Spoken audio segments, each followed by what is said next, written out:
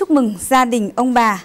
đã có thêm một thành viên mới và tôi mong rằng gia đình ông bà sẽ dành mọi điều kiện tốt nhất để chăm sóc nuôi dưỡng cháu phát triển toàn diện. Chúc cháu luôn mạnh khỏe, chóng lớn, học giỏi và thành đạt.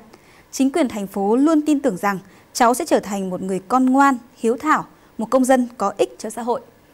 Vâng, đó là một phần nội dung thư chúc mừng của lãnh đạo thành phố Đà Nẵng cùng với giấy khai sinh, thẻ bảo hiểm y tế và hộ khẩu gửi đến những công dân mới chào đời của thành phố từ ngày hôm nay, mùng 3 tháng 10. Và chắc chắn là xã hội chúng ta vẫn còn cần thật nhiều những hành động nhân văn như thế.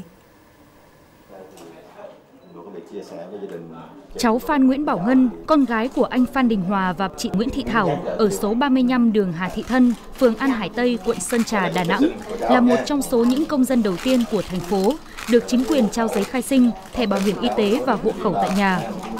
Cả anh Hòa và chị Thảo đều bị câm điếc bẩm sinh, việc thực hiện các thủ tục hành chính thường gặp nhiều khó khăn, nhưng lần này mọi việc khá đơn giản.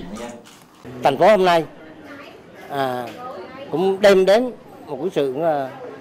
à vui lòng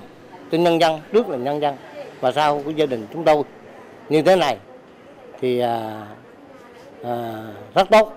À, lo lắng cho nhân dân đến tận nhà tận tình như thế này thì à, tôi cũng xin chân thành cảm ơn Đề án triển khai thí điểm thực hiện trao giấy khai sinh, thẻ bảo hiểm y tế, hộ khẩu tại gia đình trẻ em trên địa bàn Đà Nẵng do thành phố Đà Nẵng ban hành nhằm triển khai có hiệu quả các luật hộ tịch, cư trú, bảo hiểm y tế, bảo vệ, chăm sóc và giáo dục trẻ em tại địa phương, giúp công dân tiết kiệm thời gian và chi phí đi lại, nâng cao tính phục vụ trong giao dịch hành chính với người dân. Đây cũng là việc mang tính nhân văn, khẳng định rõ hơn sự quan tâm, trách nhiệm của chính quyền địa phương, các tổ chức, đơn vị trên địa bàn thành phố khi chứng nhận, chào đón một công dân mới ra đời. Đây là việc làm cũng nhắc nhở lại à, là cái việc chăm sóc, giáo dục và nuôi dưỡng trẻ em, dạy dỗ trẻ em lên người là một cái trách nhiệm hết sức to lớn à, của của chính quyền, à, của xã hội. Làm thế nào để các em nhận được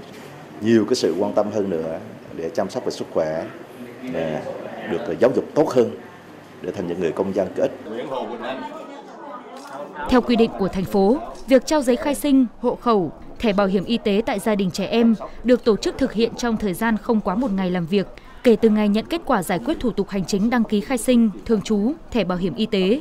Trường hợp người đi đăng ký khai sinh từ chối trao tại gia đình của trẻ em thì cán bộ tiếp nhận hồ sơ hướng dẫn công dân nhận kết quả thủ tục hành chính tại bộ phận tiếp nhận và trả kết quả của Ủy ban nhân dân nơi đăng ký khai sinh theo quy định.